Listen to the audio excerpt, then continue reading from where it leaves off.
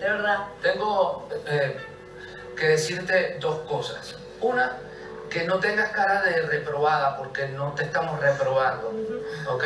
Este, y aparte no tenemos autoridad para reprobarte. ¿no? Simple y llanamente cada uno tiene su razón por la cual no dio vuelta, pero